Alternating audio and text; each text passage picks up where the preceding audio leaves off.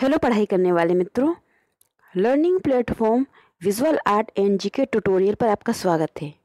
दोस्तों, चित्रकला और मूर्तिकला के 1000 प्रश्नोत्तर की सीरीज़ का यह है थर्टी फ़र्स्ट पार्ट अगर आपने पहले के पार्ट नहीं देखे हैं तो ज़रूर देखिए और साथ ही आप मेरे चैनल की प्लेलिस्ट को ज़रूर विज़िट करिए। काफ़ी सारे वीडियो मिल जाएँगे आपको अलग अलग टॉपिक में, जो आपके हर स्तर की कला परीक्षा, चाहे वो एनवीएस हो के हो डी ट्रिपल एस भी हो नेट जेआरएफ हो या किसी भी राज्य का एग्ज़ाम हो, कला संबंधी टीजीटी पीजीटी का, या किसी कॉलेज का एंट्रेंस एग्ज़ाम हो, सभी के लिए ये प्रश्न आपकी मदद करेंगे। तो आइए देखते हैं प्रश्नों को और आपको ये वीडियो कैसा लगा, आप कमेंट करके बताइएगा। पसंद आता है तो लाइक शेयर ज़रूर करें। और अगर आप अभी तक मेरे चैनल से नहीं जुड़े हैं तो जुड़ने के लिए से सब्सक्राइब ज़रूर कर लीजिए। तो आइए देखते हैं प्रश्नों को। क्वेश्चन नंबर पाँच सौ इक्यावन फाइव फिफ्टी वन से शुरू करेंगे हम यहाँ पर। तो प्रश्न है, अरबस्क क्या है? तो अरबस्क जो है, वो एक टेक्निक है और वो है सल्तनत कालीन इमारतों में अलंकरण की संयुक्त विधि। तो आंसर हो जाएगा यहाँ पर, तकनीक। और कभी पूछा जाता है एग्ज़ाम में कि अरबस की तकनीक किस काल में यूज़ हुई तो ये सल्तनत कालीन याद रखिए सल्तनत कालीन इमारतों में। अलंकरण की ये तकनीक थी जिसे अरबस्क कहा जाता था। नेक्स्ट क्वेश्चन है 552 the women in the green dress चित्र के कलाकार कौन है? काफ़ी प्रसिद्ध चित्र है और इस चित्र को बनाने वाले प्रभाववादी और यथार्थवादी शैली में भी काम किया है। कलाकार हैं, मोनेट, क्लाउड मोनेट, आंसर हो जाएगा ऑप्शन ए। प्रभाववादी और यथार्थवादी शैली में भी काम किया है, फ्रांस के कलाकार हैं और उनका काल पूछा जाए तो 1840 से 1926 इनका काल था।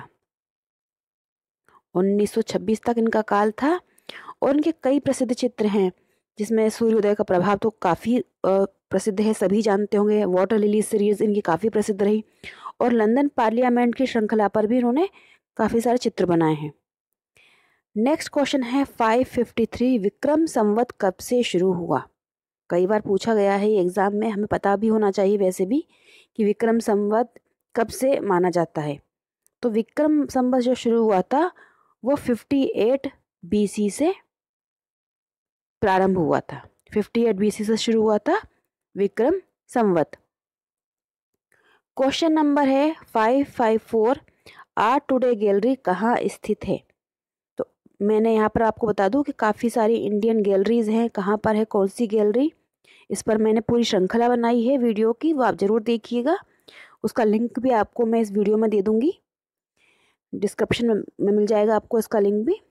काफ़ी सारे महत्वपूर्ण वीडियो हैं जो अलग अलग मतलब सिर्फ़ इस तरह के क्वेश्चन आंसर नहीं होते कि सिर्फ़ कौन सी इमारत कहाँ है और कौन से चित्रकार कौन है। कुछ इस तरह के भी होते हैं कि गैलरीज कहाँ पर हैं या फिर न्यूयॉर्क सॉरी जो यूनेस्को की जो लिस्ट है, उसमें कौन सी इमारत या कौन सा धरोहर स्थल है शामिल किया गया, कब किया गया, इस पर भी मैंने वीडियो बनाए हैं। तो आर्ट टुडे गैलरी जो है, वो है नई दिल्ली में। आंसर हो जाएगा यहाँ पर option A art today gallery है दिल्ली में। क्वेश्चन है फाइव फाइव फाइव, पाँच सौ पचपन, अशोक स्तंभ की ऊंचाई कितनी है? अलग अलग तरीके से पूछा जाता है, क्वेश्चन बनते काफ़ी इसमें। तो अशोक स्तंभ जो है, उसकी जो हाइट है, वो है पचास फीट आंसर है ऑप्शन सी पचास फीट उसकी हाइट है। नेक्स्ट क्वेश्चन है इंडियन प्रिंट गिल्ड में कितने कलाकार थे? तो इंडियन प्रिंट गिल्ड जो कलाकारों का समूह था, ये 1990 में शुरू हुआ था। पूछा जाए कब तो 1990 में और इसमें थे बारह सदस्य। 1990 का ये समूह है। मैं आपको नाम बता देती हूँ, फिर आगे कभी क्वेश्चन भी बनाऊँगी इसका इस पर कि कौन सा कलाकार इस ग्रुप में था कौन सा नहीं था। आप चाहे तो पेन पेपर लेकर कलाकारों का नाम नोट कर ले। कलाकार है आनंद मोय बनर्जी, दत्तात्रेय आप्टे, जयंत गजेरा, ए आर सुबन्ना, तुला भट्टाचार्य कविता नायर, कंचन चंदर, मोती झरोटिया, सुशांत गुहा, सुखविंदर सिंह, सुब्बा घोष और शुक्ला सावंत। एक बार फिर से नाम बता देती हूँ। आनंद मोय बनर्जी, दत्तात्रेय आप्टे, जयंत गजेरा, ए आर सुबन्ना, तुला भट्टाचार्य, कविता नायर, कंचन चंदर, मोती झरोटिया सुशांत गुहा, सुखविंदर सिंह, सुब्बा घोष और शुक्ला सावंत, ये थे इंडियन प्रिंट गिल्ड के कलाकार। नेक्स्ट क्वेश्चन है 557 हीनयान संप्रदाय का सर्वाधिक विकसित शैलकृत चैत्य कहाँ है? तो हीनयान संप्रदाय का सर्वाधिक जो विकसित शैलकृत चैत्य कहलाता है, वो है महाराष्ट्र में और कहाँ है? तो ये है कारले। कारले जो कि है महाराष्ट्र में। ये हीनयान संप्रदाय जो बौद्ध धर्म का एक संप्रदाय है हीनयान महानयान जो होते थे तो हीनयान वो थे जो कि किसी आ, मतलब मूर्ति कला मूर्ति पूजा के विरोधी थे। और कारले में इनका सर्वाधिक विकसित शैलकृत चैत्य है। क्वेश्चन फाइव फाइव एट है सारनाथ पिलर का समय काल क्या है? तो सारनाथ पिलर अब कभी पूछा जाए इसकी हाइट कितनी है, लंबाई कितनी है तो सात फीट सात फीट है इसकी लंबाई,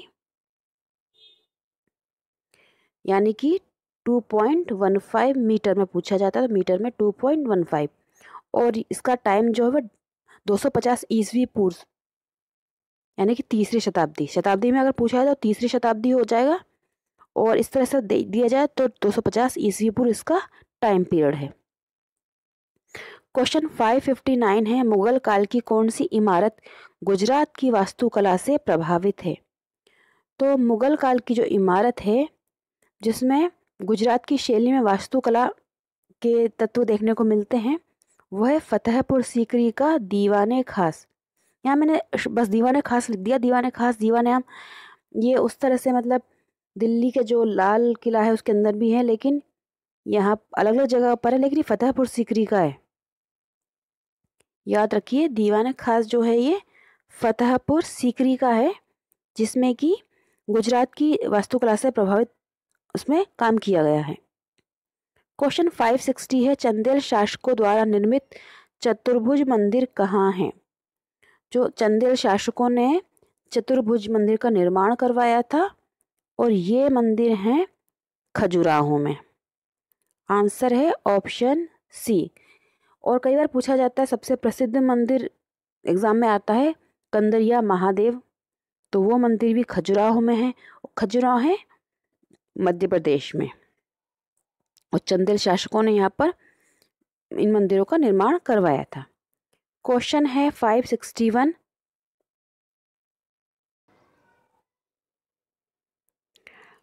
Five sixty one, Ragini Bhairavi चित्र किस शासक के समय निर्मित हुआ? तो रागिनी भैरवी पूछा जाता है कि शैली का चित्र है। तो शैली आपको पता होना चाहिए, ये बूंदी शैली का है। बूंदी शैली का चित्र है ये। और एक और है राग दीपक, ये भी बूंदी शैली का चित्र है। और रागिनी भैरवी चित्र जो था, उसे निर्मित किया गया था राव रतन सिंह के समय। आंसर है यहाँ पर ऑप्शन ए, राव रतन सिंह के समय। रागिनी भैरवी चित्र बूंदी शैली में निर्मित हुआ था। और राव रतन सिंह का जो शासन का समय था 1607 से 1631 इसी बीच में ये चित्र जो राजस्थान की उपशैली है, बूंदी शैली, उसमें निर्मित हुआ था। क्वेश्चन है 562 राजा हिंदलपाल, हिंदालपाल। ये चित्र है कहाँ संग्रहित? तो राजा हिंदालपाल, इनका चित्र जो बना था, वो बना था बसोहली शैली में। पूछा जा किस शैली में बना था? तो ये चित्र बना था बसोहली शैली में। बसोहली भी बोलते हैं, बसोली भी बोलते हैं। और ये चित्र जो है, ये पंजाब संग्रहालय में है। कहाँ है? तो पंजाब म्यूज़ियम में ये चित्र संग्रहित है। और राजा हिंदाल पाल इनका शासनकाल था सोलह से सोलह काफ़ी कम समय इनका शासनकाल था। क्वेश्चन है 563 चित्रकार हैं। कास्पर डाविड फ्रीड्रिश, ये कहाँ के कलाकार हैं? तो ये थे रोमांसवादी, आपको बता दूँ, रोमांसवादी कलाकार थे ये, और ये थे जर्मनी के। कास्पर डाविड फ्रीड्रिश, ये रोमांसवादी जर्मन चित्रकार थे, और इनका टाइम पीरियड था 1774 से 1840 और ये अपने काल्पनिक प्रकृति चित्रों के लिए प्रसिद्ध थे। अगर कभी ऐसा आए कि कौन सा कलाकार अपने काल्पनिक प्रकृति चित्रों के लिए प्रसिद्ध था? और ऑप्शन में हो, ये फ्रेडरिश तो आप इसे टिक ज़रूर करिएगा। ये अपने जो प्रकृति चित्र बनाते थे, कल्पना से, उसके लिए काफ़ी प्रसिद्ध थे। नेक्स्ट क्वेश्चन है, किस कलाकार ने अपनी यथार्थवादी कला को जनतंत्रवादी कला नाम से घोषित किया था? ये थे अपने यथार्थवादी चित्रकार, लेकिन इन्होंने अपनी कला को कहा जनतंत्रवादी और ये थे कुर्बे। आंसर जो हो जाएगा यहाँ पे सी ऑप्शन। और इन्होंने अपने जो चित्र बनाए, इन उसमें इन्होंने उन चित्रों को फ्रांस के विभिन्न प्रांतों, हॉलैंड, बेल्जियम, स्विट्ज़रलैंड, जर्मनी में प्रदर्शित किया था इस तरह के चित्र बनाकर। और इनका टाइम पीरियड पूछा जाए तो 1819 से 1877 इनका समय काल था। नेक्स्ट क्वेश्चन है 565 निम्न में से कौन सर्वश्रेष्ठ रोमांसवादी कलाकार कहलाता है? तो सर्वश्रेष्ठ रोमांसवादी कलाकार इसमें कहलाते हैं ओजेन दिलाक्रा। आंसर है ऑप्शन डी। सर्वश्रेष्ठ की बात की गई है तो सर्वश्रेष्ठ दिलाक्रा को जाता है, सर्वश्रेष्ठ रोमांसवादी कलाकार होने का श्रेय। ओजेन दिलाक्रा इनका पूरा नाम था, टाइम पीरियड था इनका। 1798 से 1863 मैं आपको समय काल इसलिए बताती जाती हूँ कि कभी आपको कलाकारों को एक कैटेगरी वाइज लगाना हो, सर्वश्रेष्ठ मतलब समय काल से सीनियर से जूनियर या जूनियर सीनियर इस तरह से क्रम भी पूछा जाता है कई बार और इस तरह का नेट में ज़रूर पूछा जाता है बहुत सारा। तो आपको टाइम पीरियड मालूम होगा तो आपको मालूम चल जाएगा कौन सा कलाकार कब पैदा हुआ तो आप उसको क्रम में लगा सकते हैं। और उनके कुछ प्रसिद्ध चित्र हैं, जैसे यमलोक में दाते व वर्जिल कियोस में मानव संहार। और कियोस में मानव संहार जो उनका बनाया हुआ चित्र था, उसको बाद में टाइटल दिया गया था चित्रकला का संहार। नेक्स्ट क्वेश्चन है 566 शेर का शिकार करते जहांगीर, ये किस कलाकार द्वारा निर्मित चित्र है? तो शेर का शिकार करते जहांगीर, ये बनाया था मुगल काल में जहांगीर के समय के चित्रकार थे मनोहर। उन्होंने इस चित्र को निर्मित किया था। आंसर यहाँ पर ऑप्शन सी। मनोहर का बनाया हुआ चित्र है ये, शेर का शिकार करते जहांगीर। और इस चित्र की एक प्रति जो है वो मॉस्को में और एक ऑक्सफोर्ड में है। इस याद रखिए इसकी दो प्रतियाँ हैं। शेर का शिकार करते जहांगीर, जिसमें से एक ऑक्सफोर्ड में है और एक मॉस्को के म्यूज़ियम में संग्रहित है। क्वेश्चन है फाइव सिक्सटी सेवन बादामी गुफाओं के चित्रों को खोजने का श्रेय किसे प्राप्त है? तो बादामी गुफाओं को खोजने का श्रेय जो जाता है, वो जाता है स्टेला क्रेमरिश जी को। ने भारतीय कला पर किताबें भी लिखी, इंडियन टेम्पल्स नाम की इनकी प्रसिद्ध किताब है। इन्हें जाता है खोज करने का श्रेय बादामी गुफा के चित्रों को। और जो बादामी गुफाओं के मंदिर हैं, वो चालुक्यों द्वारा निर्मित किए गए थे और चार मंदिर हैं। मतलब याद रखिए, चालुक्यों द्वारा निर्मित थे ये चार गुफा मंदिर हैं बादामी में, जो है कर्नाटक में। नेक्स्ट क्वेश्चन है 568 ब्लू टोर्सो जिसे 1973 में बनाया गया और द प्ले इसे 1989 में बनाया गया। ये किस कलाकार द्वारा निर्मित चित्र है? तो ब्लू टोर्सो और द प्ले ये दोनों ही चित्र बनाने वाले कलाकार हैं तैयब मेहता जी। यहाँ मैं आपको बता दूँ बहुत सारे समकालीन भारतीय कलाकारों पर, आधुनिक कलाकारों पर मैं वीडियो बना चुकी हूँ। जिनकी मुझे काफ़ी डिटेल में जानकारी मिल पाई है, उनका डिटेल में वीडियो बनाकर, प्रश्नोत्तर का वीडियो बनाया अलग से, और जिनकी पूरी डिटेल नहीं मिल पाई है तो उनको फिर मैंने प्रश्नोत्तर के माध्यम से काफ़ी जो चीज़ें शामिल हो सकती थी, उनको शामिल किया है।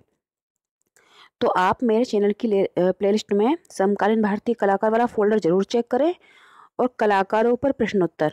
इस फोल्डर को ज़रूर चेक करें। उसमें काफ़ी अच्छे आपको वीडियो मिल जाएँगे जिससे आप एक एक कलाकार का कला परिचय अच्छे से जान पाएँगे। डिटेल में भी जान पाएँगे और प्रश्नोत्तर के माध्यम से भी जान पाएँगे। तो ब्लू बता दूँ यहाँ पर ब्लू टोर्सो और ये द प्ले दोनों ही इन्होंने बनाए थे। ब्लू टोर्सो बनाया था ऑयल में और द प्ले बनाया था इन्होंने ऑयल में और भी प्रसिद्ध चित्र हैं इनकी दो आकृतियाँ, Mahishasura women on rickshaw three hurt studies भी सीरीज़ बनाई थी इन्होंने। नेक्स्ट क्वेश्चन है फाइव सिक्सटी नाइन जर्मिनेशन तीन आकृतियाँ, मस्खरे और छपाक का माध्यम क्या है? तो ये सारे ही जो हैं, ये प्रिंट हैं और ये प्रिंट जो हैं, वो तैयार किए गए थे विस्कोसिटी माध्यम में और बनाने वाले कलाकार हैं कृष्ण रेड्डी जी। इन पर भी मैं कला यात्रा का और प्रश्नोत्तर का वीडियो बना चुकी हूँ, आप ज़रूर देखिएगा। ये उनके सारे बनाए हुए प्रिंट हैं जर्मिनेशन तीन आकृतियाँ, मस्खरे, छपाक। प्रेस्टोरेट भी बनाया था 1960 में इन्होंने एचिंग एंड इनग्रेविंग में घुटनों के बल चलती अप्पू। 1975 ये भी इनका बनाया हुआ है। क्वेश्चन है 570 सुजाता वॉश टेक्निक का किस कलाकार द्वारा निर्मित चित्र है? तो सुजाता चित्र जो बनाया था, ये बनाया था अवतार सिंह पवार जी ने। आंसर हो जाएगा ऑप्शन ए। इन्होंने शांति निकेतन से पढ़ाई की और काफ़ी प्रसिद्ध मूर्तिकार होने के साथ साथ चित्रकार भी थे छापा कलाकार भी थे मतलब और बहुत आ, मतलब जो होता है ना एक आर्टिस्ट में कई आर्ट सारे शामिल होते हैं उनमें से एक थे अवतार सिंह पवार जी। और इनका जो बनाया हुआ चित्र है सुजाता ये वॉश टेक्निक में है और ये संग्रहित है उत्तर प्रदेश राज्य ललित कला अकादमी लखनऊ में। पूछा जाए कहाँ? तो लखनऊ राज्य ललित कला अकादमी में चित्र संग्रहित है। क्वेश्चन है 571 किस कलाकार के विचारों को फ्रेंच कला क्षेत्र में कानून की तरह लागू किया गया? तो ये कलाकार थे जिया ओगस्तु, दोमलिक, अंग्र। इनका पूरा नाम बताया मैंने आपको। ऑप्शन सी अंग्र बोला जाता है शॉर्ट में। और पूरा नाम था जिया ओग्युस्त डोमनिक अंग्र और ये नवशास्त्रीवादी कलाकार थे। 1801 में इन्हें रोम पुरस्कार भी प्राप्त हुआ था। और इनका अगर समयकाल पूछा जाए तो 1780 से 1867 इनका टाइम पीरियड था। और इनके जो विचार थे वो बहुत, ये रेखा चित्रों के लिए काफ़ी प्रसिद्ध रहे। इनके जो रेखा चित्र वो तो उच्च श्रेणी के थे और इनके जो विचार थे उसको फ्रेंच कला क्षेत्र में एक कानून की तरह से माना गया। क्वेश्चन फाइव सेवेंटी टू है। बाघ गुफाओं की प्रतिलिपियाँ निम्नलिखित में से किस कलाकार ने नहीं बनाई हैं? या नहीं है? याद रखिए, कई बार पूछा जाता है किसने बनाई है? यहाँ पूछा किसने नहीं बनाई है? तो देखिए, बाघ गुफाओं जो कि मध्य प्रदेश में है, इनकी किस किसने बनाई है बताती हूँ। नंदलाल बोस जी ने बनाई हैं। असित कुमार जी ने भी बनाई है। ए बी भोसले जी ने भी बनाई है। अवनेन्द्र नाथ टैगोर जी ने नहीं बनाई है। इसकी जगह होना चाहिए था सुरेंद्र नाथ सुरेंद्र नाथ जी ने बनाई हैं। नंदलाल बोस जी, असित कुमार हलदार सुरेंद्र नाथ ए बी भोसले और बी एन आपटे। इन लोगों ने इसकी प्रतिलिपियाँ बनाई हैं। बाघ गुफाएँ हैं, जो पहली गुफा होती है, उसका नाम ग्रह गुफा, सेकंड का गोसाई या पंच पांडव, थर्ड का हाथी खाना, चौथी गुफा रंग महल और पांचवी पाठशाला। नेक्स्ट क्वेश्चन है